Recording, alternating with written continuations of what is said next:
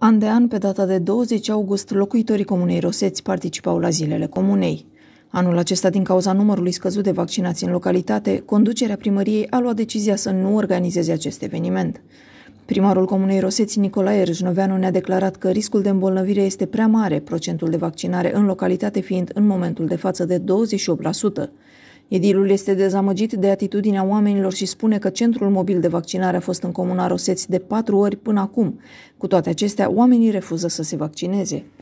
Domnule primar, anul acesta ați decis să organizați zilele comune. Știu că în fiecare an, pe data de 20 august, aveți acest eveniment. Anul acesta? Am decis să nu organizăm. Îmi este frică că nu pot să respect toate regulile pe care trebuie să le, pe care trebuie să le respect în condiții de pandemie, în condițiile în care ne găsim uh, din punctul ăsta de vedere la nivel uh, național. Și dumneavoastră știți foarte bine. Nu, nu vă ascund că uh, la nivel de comună am adus echipajul mobil de vaccinare de patru ore până acum. De patru ori și nu s-a reușit mai mult, cred, mai mult de 28% nu s-au vaccinat. Ceea ce mă face să nu am încredere că dacă uh, organizez această festivitate, uh, oamenii o să înțeleagă și cei care nu sunt vaccinați nu trebuie să vină și cei care sunt prezenți la, acest, la această, această sărbătoare vor respecta regulile respective atâta timp când nu, m-a, nu m-a convins, aducând acești oameni aici să-i vaccineze, să se vaccineze și ei refuză să vaccineze, înseamnă că refuză să respecte regulile pe care Ministerul Sănătății și toate lumea ni le impun pentru a preîntâmpina acest flagel, această, această nenorocire. Nu vă spun că în aceea situație se găsesc și la nivel de școală. Sunt cadre didactice care nu s-au vaccinat până acum. Deci nu mă miră de unde e educația asta și de unde e ideea asta cu a nu se vaccina. Ministerul Educației trebuie să impună o regulă. Noi nu dăm copiii la școală ca să uh, avem necazuri datorită faptului că profesorii nu se vaccinează. Să nu existe anul ăsta avut un profesor care începe, dorește să înceapă orele fără a fi vaccinat. Să fie o regulă din punctul ăsta de vedere. Din alte puncte de vedere, aș dori ca Ministerul Sănătății să impună la toți medicii de familie să facă vaccinul în localitățile unde desfășoară activitatea. Obligatoriu. Nu altfel. Obligatoriu. Deci ei trebuie să facă acest serviciu. Nu se poate altfel. Înseamnă că dacă nu, se, nu fac acest serviciu la nivel de localitate, pur și simplu îi doare în spate de sănătatea cetățenilor din localitate. Adică Ministerul Sănătății și toată lumea uh, vor într-adevăr să preîntâmpină necazul cu pandemia, acest fenomen, și noi chiar cei care reprezentăm acel minister în, nu ne facem datorie. Cum e posibil? Deci medicul de familie să facă vaccin în, fam- în comuna unde pur și simplu uh, își desfășoară activitatea. Iar la școală toată lumea, deci toți profesorii trebuie să înțeleagă, trebuie să fie vaccinați. Și toți educatorii la grăniță. Eu așa cred că e normal. Și cu asta am terminat pe linia asta. Uh-huh. Ați adus în discuții școlile, se apropie începutul noului an școlar. Școlile sunt pregătite pentru reluarea activității? Uh, eu uh, am uh, și astăzi am fost la școală, la fiecare școală, din cele cinci corpuri de școală. În parte eu sunt mulțumit de modul cum se desfășoară. Nu va, deci adevărul e că toate cinci corpuri de școală au suferit, au trecut prin acel, prin acel acele proiect, acel proiect de modernizare. Deci lucrările sunt executate, arată, pot să spun, într-un stadiu foarte bun, deci sunt în stadiu foarte bun, uh, sunt curate, uh, oamenii de la școală, oamenii de serviciu, îngrijitorii își fac datoria, rămâne să mai punem la punct. Sunt destule de pus, mai ales după un șantier între ăsta, vă dați seama că sunt foarte multe probleme de rezolvat. Dar adică aveți sunt timp până în materiale care... septembrie? Cum? Aveți timp până în septembrie să remediați. Noi sperăm, nu până în septembrie, în două săptămâni, maxim trei, uh, trebuie să recepționăm lucrările și uh, atât uh, corpurile de școală ca obiectiv, uh, cât și curțile, împreș, curțile acestor uh, obiective, acestor școli, să arate cum trebuie. Așa, în așa ca și cum ar trebui să primească o vizită. Deci trebuie să arate bine. Uh, Cu sala de sport, credeți că există șanse să începeți până la finele anului? Ia că mi-ați adus aminte de această treabă. Uh, Nu vă ascund că am fost nevoit uh, să renunțăm la câteva lucrări și, de exemplu, nu refac în totalitate împrejmuirea de la școala din centru pentru faptul că aici se, execut, se va executa această lucrare. Și deci, în spate, împrejmuirea rămâne așa cum este. Ce am putut să facem? Să facem remedierile la toată împrejmuirea din față. Și cred că ați trecut pe acolo și ați văzut despre ce vor. Uh, Noi sperăm ca în maxim o lună de zile, hai să zic maxim două, să înceapă lucrările. Nu numai acolo, și la terenul de mi- mini-fotbal pe care îl executăm lângă baza sportivă. Deci, maxim o lună, două, să începem lucrările. Dacă tot vorbim despre proiecte, uh, despre branșarea localității la gaz, ați mai primit informații, ați primit uh, date noi? Uh, V-aș ruga ca pe toată presa, v-aș ruga să puneți întreb- aceste întrebări către Ministerul Dezvoltării sau către domnul prim-ministru. Poate dânsul știe mai multe. Eu știu din anumite sur- surse tot ce trebuie să știu. Dar nu vreau să discut pentru faptul că o să-mi puneți întrebarea de unde cunoașteți problema și eu nu vreau să o spun, pentru că sunt și oameni de bună credință care spune adevărul. Deci, după mine, se pare că e deocamdată o gogoașă mare pe care o practică actualul guvern. Deci ar trebui neapărat uh, să revenim asupra acestei probleme și uh, să facem tot ce este posibil să promovăm și aceste, aceste proiecte. Eu sunt gata cu proiectul, deja e la evaluare la Ministerul Energiei. Deci eu sunt pe picior de A demarat a lucrările? demarat lucrările, sigur că da. Dar trebuie să zică dânsii da și e vorba de bani. E vorba de bani mulți pe care nicio comunitate nu poate să-i... eh, Dar o coparticipare a noastră e necesară a fi făcută, pentru că în felul ăsta suntem și responsabilizați să fie, să, să se execute lucrările cum trebuie.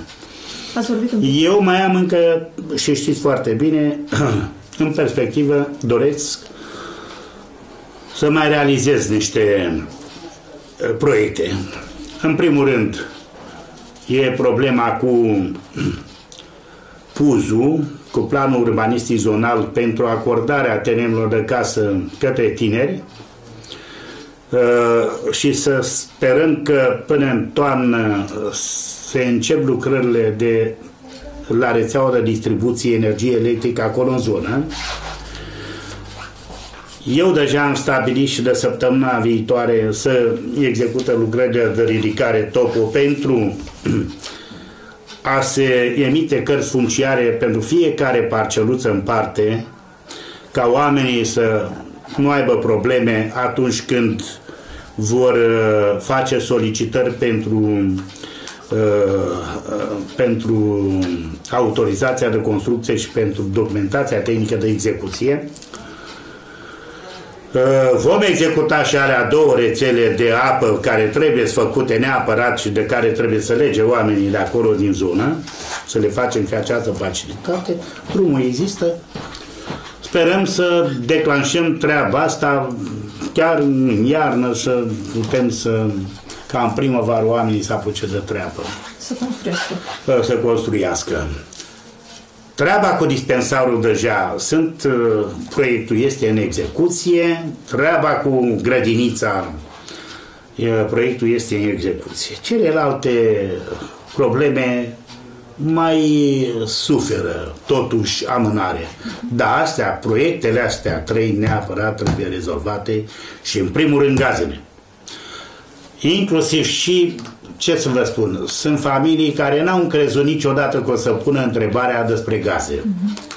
E, și pur și simplu, pentru mine un semn de întrebare. Deci eu vă spun că s-ar putea să conecteze la apă la gaze mult mai multe mm. gospodării decât mi-am închipuit vreodată. S-ar putea chiar să ne apropiem de 80%. Odată adusă rețeaua, vă dați Sigur seama că da. oamenii da. vor... E o facilitate pentru fiecare și apoi pe urmă am o solicitare acum pentru mm, o societate și vrea să amplaseze niște uh, centrale între astea eoliene ar fi posibilitate, trebuie, v-am spus și, domnule, și legislația să fie puțin mai legeră. Uh-huh. Nu stăm toată ziua, bună ziua, să luăm avize și aprobări. Haideți să fie puțin mai legeră. E o hotărâre de Consiliu, Consiliul, dar este, este, o, o, este un for deliberativ și haideți să rezolvăm treburile cât mai repede în Parcă nu știu, mi se pare că am îmbătrânit prea repede și nu se pare că o să ajung prea repede acolo când uh, săr granița și nu o să fiu în stare să rezolv toate problemele care trebuie să le rezolv. Aveți terenul necesar pentru această centrală? Sunt, da.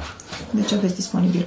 În urmă cu ceva timp vă exprimați nemulțumirea dumneavoastră alături de alți primari Uh, cu privire la finalizarea fondurilor pentru finanțarea proiectelor, lucrărilor pe PNDL. S-a rezolvat această problemă? Uh, eu am făcut toate demersurile pentru uh, a ști încă de acum la ce mă aștept. Eu la ora actuală am 40, 4 milioane 700 de lei cheltuiți pe PNDL Uh, și solicit returnare pentru ca să pot să fac față și cu documentațiile tehnice pe care deja le am în execuție și celelalte coparticipare. Nu vă ascund că, spre exemplu, pentru execuția lucrării uh, de rețea de, cu rețeaua de distribuție la nivel de uh, PUZ, uh-huh. dar nu urbanistic zonal, da pentru a da uh, locuințe la tineri, acolo trebuie să copartice cu jumătate din sumă. Și vorba de aproape 800 și ceva de lei, 800 de mii de lei. Uh, dacă nu mi se returnează banii de acolo, sunt imposibilitate de a rezolva treaba în partea asta altă. Deci o jumătate din bani trebuie să, pe care o să recuperez în următorii doi ani de zile în, în condițiile în care le cedez uh, uh, rețeaua lor. Mhm. Dacă tot vorbim despre sume de bani uh, blocate, uh, acel război dintre prefectură și Consiliul Județean s-a finalizat? Ați reușit să primiți banii din uh, sumele de falcate? Din câte știu eu, nu s-a finalizat și era nevoie să finalizeze. Mă uit, m-am uitat în, într-un, într-o ordonanță de urgență care ne-a venit din partea guvernului și unde motivează domnul prim-ministru sau guvernul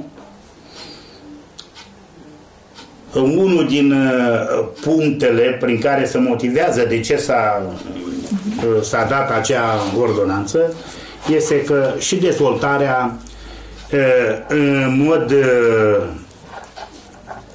egal a tuturor zonelor și a tuturor localităților. Vreau să nu cred că este o minciună din partea celui care a venit cu această ordonanță. Vreau să cred că este un adevăr. Deci toate zonele și toate localitățile trebuie dezvoltate în același ritm. Bine, în funcție de cum conducătorul acest, acelor comunități știe să fie gata și să, să facă pașii care trebuie pentru să promoveze uh, proiectele necesare. Deci n-am înțeles niciodată cum astă toamnă, onor guvernul, a dat unor localități o sumă de bani. Localitățile fiind toate PNL. Iar la localitățile PSD din județul ăsta, cel puțin din județul ăsta știu precis, n-a dat un ban. Faptul că Consiliul Județean, deci nu președintele Consiliului Județean, Consiliul Județean a considerat că acești 6% să fie atribuiți mai mult localităților care n-au primit asta toamnă niciun ban și care la ora actuală acele localități stau pe o salteluță. Înțelegeți ce vreau să spun?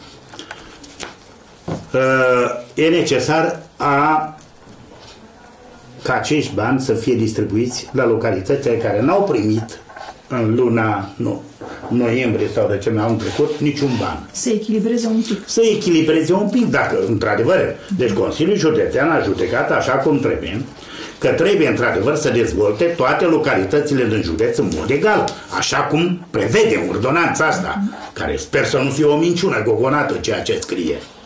Da? Și de ce dau dreptate? Eu știu proveniența acestor bani și că toate localitățile au dreptul la acești bani.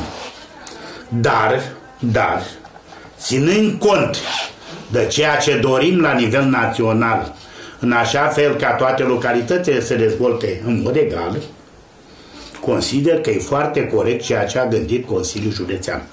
Nu președintele a fost ăla. Greșit. Consiliul Județean. Care este ales de cetățeni și de cetățeni care fac parte de localitățile alea care nu o să primească. Eu cam atât am avut de spus. De curând ați participat la întâlnirea Asociației Comunelor. Da. Uh, ce s-a discutat acolo? Aveți uh, s-a discutat foarte multe probleme. Uh-huh.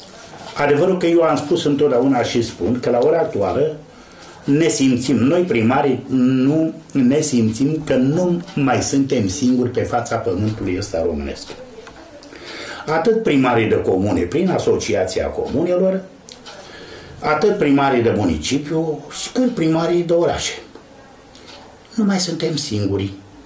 Suntem o, o alianță, așa, care reprezentăm interesele localităților pe care, cetățenilor localitățile pe care noi le păstorim. Uh-huh și să nu, dacă aceste localități în mediul rural dețin ca suprafață peste 58% din total suprafață, ca populație sunt aproape 50%, să e 48,2%, înseamnă că reprezentăm ceva la nivel de țară. Și dacă stau să mă gândesc, Uh, cei mai mulți cetățeni sunt la țară decât la oraș. La oraș cam sunt plecați peste hotare, majoritatea. Cei mai mulți cetățeni. Deci faptul că PNDL-ul a dezvoltat, PNDL-ul promovat, nu știu de cine.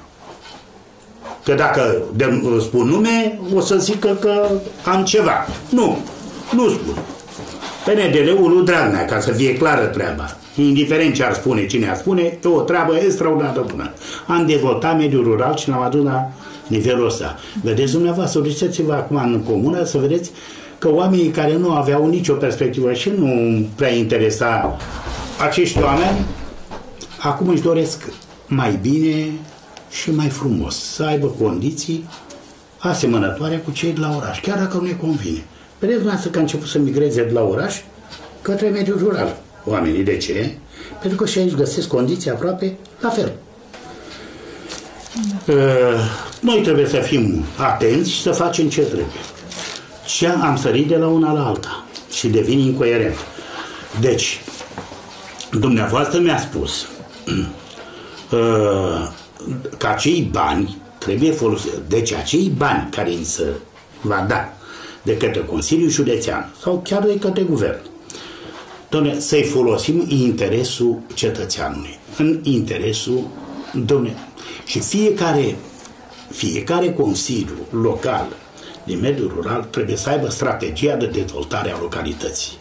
Pentru că atunci este un haos. Nu știi de ce este ei și nu știi ce să prefeți a doua zi a se executa în comună la tine. Deci strategia de dezvoltare a locului care face parte componente din PUG, planul urbanistic uh, al comunei, e, aia este un element de bază la tot ceea ce prevezi să faci în viitor în localitatea asta, într-o localitate. Iar părerea mea este că toți cei care vor beneficia de acești bani pe care ni va da Consiliul Județean au nevoie de acei bani. Au nevoie. Pentru că trebuie să promovăm proiecte. Oamenii trebuie să înțeleagă că eu, când promovez un proiect, poate că nici nu există program pentru acel proiect. Dar eu l-am avut stabilit și dorința lor, că s-a făcut sondaj când s-a făcut strategia de dezvoltare a localității. Ce îți dorește fiecare cetățean a se face în localitatea lui. Și luată ordine. Eu am respectat. Ce vreau să vă spun este că uh, noi trebuie să fim cu documentația de execuție sau cu proiectul sau SF-ul în mână în momentul când trece acel tren prin gara mea. Și eu, dar, îl lansez acel proiect. Deci eu trebuie să aștept, să, să știu precis, ăsta e proiectul care rezolvă mie următoarea treabă. Ia să vedem care program este ăla care rezolvă treaba. Păi ăla va fi, eu cred, în viitor, peste vreo lună, două. Eu peste o lună, două trebuie să am proiectul în mână ca să îl lansez acolo. Eu spun la toți colegii și la toată lumea ca să înțeleagă despre ce e vorba. Altfel nu faci treaba în localitatea ta. Cam atât am avut de spus din vedere. În încheiere, aș vrea să vorbim un pic despre activitatea ansamblului folcloric din localitate. Chiar dacă a fost perioada de pandemie, în vara asta s-au mai relaxat lucrurile. Au primit invitații să participe la uh, festivaluri, dacă vor mai participa până la finele anului. Deci dacă mai primim invitații, facem tot ce e posibil. Uh-huh. Comunitatea asta, reprezentată de mine și Consiliul Local, trebuie să înțeleagă că nu reprezentăm numai comuna, reprezentăm și uh, statul, România, peste hotare, acolo unde ne ducem. Și le demonstrăm că există și această activitate culturală la nivel de România. De-aia sunt atâtea zone unde sunt respectate tradițiile și unde străinii vin în turism să vadă într-adevăr pe viu cum este la noi. Ei, asta e, e un lucru extraordinar de bun. Și pentru turism dar și pentru noi, pentru spir, spiritualitatea noastră a, a românilor.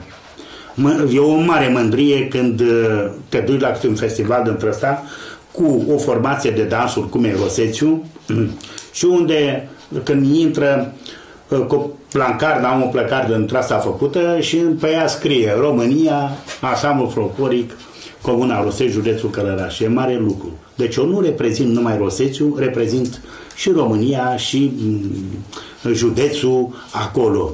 Deci ar trebui ca acolo unde să desfășoară această activitate, să fim stimulați cu bani de la Ministerul Culturii pentru aceste spectacole și pentru a menține în formă formația asta. Nu vă ascund că am în jurul la 112 dansatori.